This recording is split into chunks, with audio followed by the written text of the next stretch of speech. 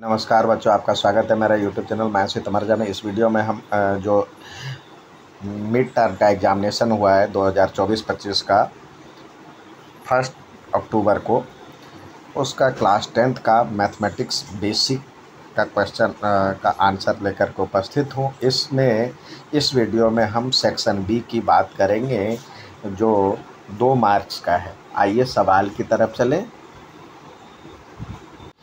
पहला सवाल कह रहा है, जो दर्शाइए ये एक अभाज्य संख्या है कि नहीं है। तो देखिए, अभाज्य संख्या के लिए यहाँ पे देखिए, ये दो टर्म है। यहाँ से एक टर्म प्लस या माइनस लेकर के टर्म की संख्या बढ़ती घटती है, पदों की संख्या घटती, बढ़ती है तो दो पद है। तो इसमें और इसमें क्या कॉमन है? ग्यारह कॉमन है। तो ग्यारह इधर आ गया, कुछ बच्चे इसको मल्टीप्लाई करते हैं। तो हम्म, वो भी सही है लेकिन उसमें टाइम टेकिंग हो जाता है। इसमें देखिए दोनों में ग्यारह कॉमन है। इधर से हो गया उन्नीस और तेईस और इधर से बचा तीन। अब आपको मल्टीप्लाई नहीं करना है। अब इसके मोर देन टू फैक्टर हो जाएँगे क्योंकि ग्यारह भी फैक्टर हो जाएगा। तो इट हैज़ मोर देन क्योंकि एक और इट सेल्फ के अलावा अभी हमने मल्टीप्लाई नहीं किया है। मल्टीप्लाई करते तो अ, उसका अंतिम अंक आता तो वो भी है। और उसके बीच वाला ग्यारह भी आ गया तो इसके बाद पास कम से कम तीन टर्म तो होंगे ही तो it has more than two terms two factor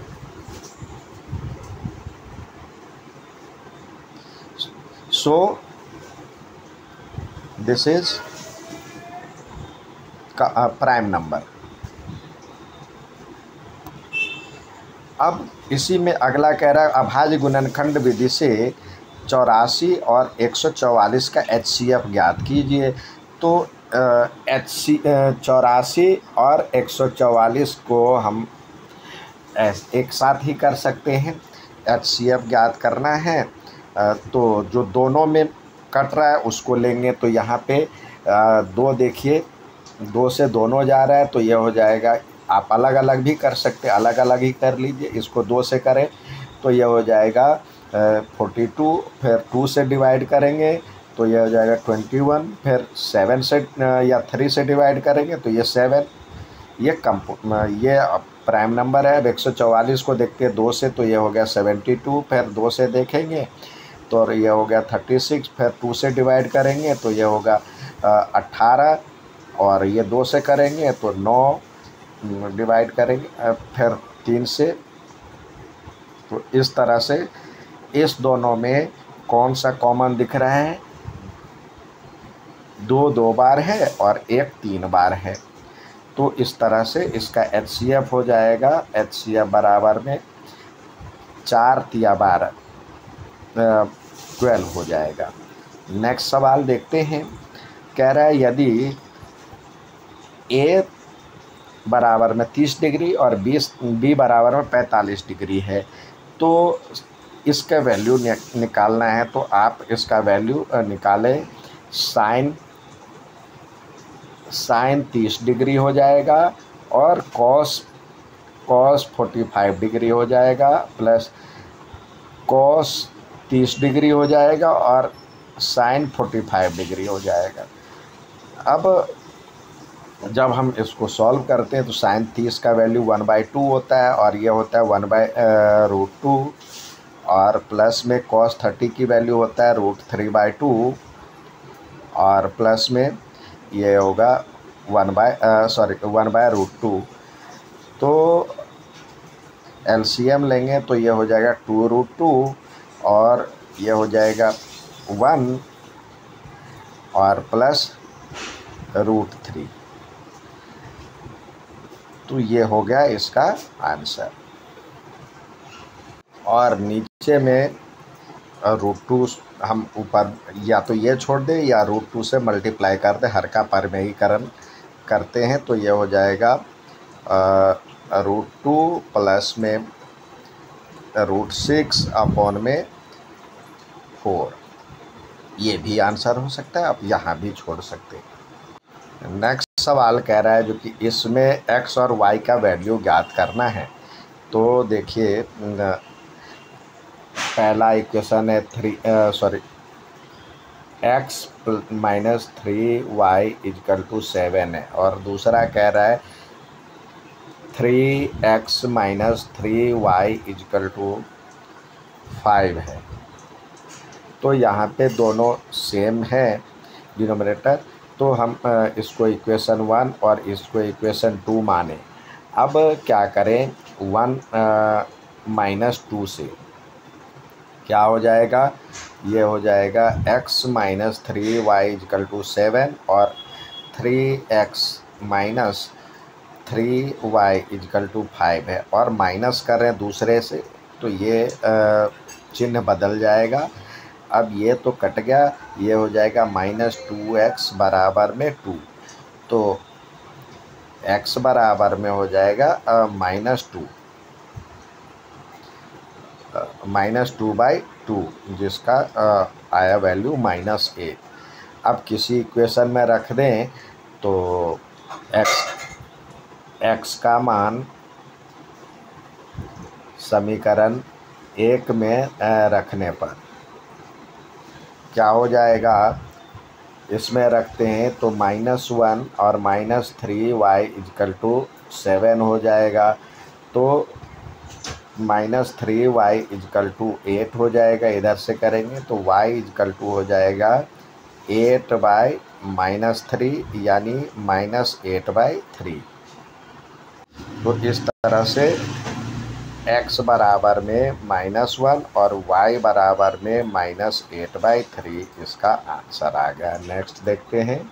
यहाँ पे आपसे पूछ रहा है, नौ एक राइट एंगल ट्रेंगल इसको बनाने के लिए हम रख दें तो सुविधाजनक होगा।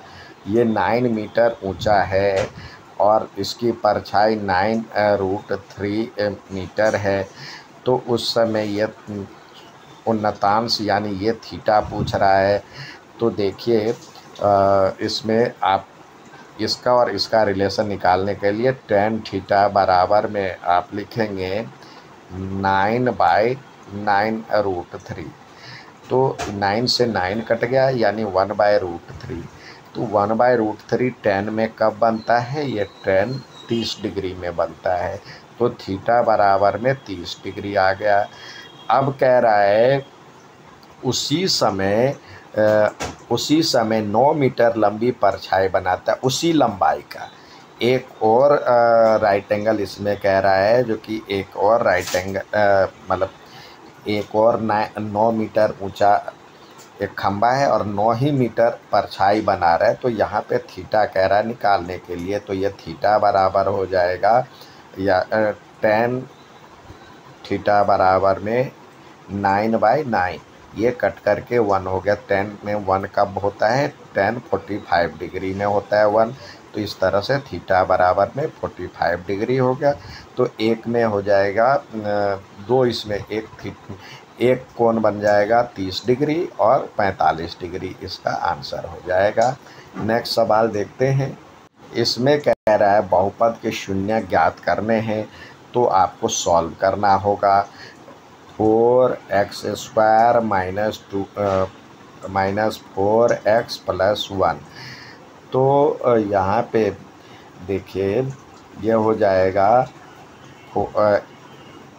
इसको मल्टीप्लाई करेंगे तो फोर हो जाएगा तो four one into four, two into two, दो ये बनता है। तो किसका जोड़ फोर हो रहा है? तो इसका जोड़ चार हो रहा है तो यहाँ पे ये रखेंगे तो ये हो जाएगा four x square minus two x minus two x plus one. अब इसमें से क्या कॉमन? तो टू एक्स कॉमन, इधर से बचा टू एक्स माइनस वन, और इधर से माइनस वन कॉमन तो two x minus one. Two x minus one और इधर से two x minus one. Zeros के लिए शून्य के लिए two x minus one equal to zero होगा या two x minus one equal to zero होगा। और दोनों में एक्स बराबर में वन बाई टू यहाँ भी और एक्स बराबर में वन बाई टू यहाँ तो आ गया एक्स बराबर में वन बाई टू और वन बाई टू। अब यहाँ पे कह रहा है जो कि एक द्विघात बहुपद ज्ञात कीजिए, जिसके शून्यक दिए हुए हो। तो शून्यक दिए हुए हैं तो शून्यकों का योग यानी एक्स स्क्वायर और माइनस शून्यकों का योग तो माइनस थ्री प्लस फाइव और एक्स होता है और प्लस शून्यकों का गुणनफल माइनस थ्री और इंटू फाइव होगा। अब करें इसको एक्स स्क्वायर और ये हो जाएगा, इसको सॉल्व करेंगे तो टू एक्स और ये माइनस का है तो टू एक्स और माइनस फिफ्टीन इसका आंसर है। और भी इस तरह का कई मल्टीपल हो सकता है। तो ये हो गया, ये था खंड सौ का खंड पार्ट बी का आंसर सॉल्यूशन उम्मीदें समझ में आया होगा अच्छा लगे तो लाइक सब्सक्राइब शेयर ज़रूर करें। धन्यवाद।